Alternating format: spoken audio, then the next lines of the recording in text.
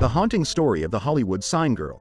Peg Entwistle was an aspiring actress born in Wales in 1908 who moved to the United States. In 1932, she gained brief fame for her performance in the Broadway play, The Mad Hopes. However, her Hollywood dreams took a tragic turn when, in 1932, at the age of 24, she climbed the H of the Hollywood sign in Los Angeles and jumped to her demise. Her demise shocked the entertainment industry, and she became a symbol of the darker side of Hollywood's pursuit of fame. Some conspiracy theories have suggested the possibility of foul play or external pressures. What do you think?